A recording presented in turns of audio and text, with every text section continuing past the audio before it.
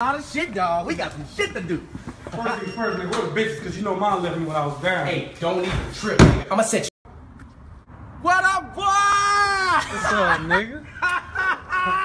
my dog is home, boy. What's up, nigga? Hey, my nigga done touchdown, boy. You look good, man. Hey, I gotta catch you up on a lot.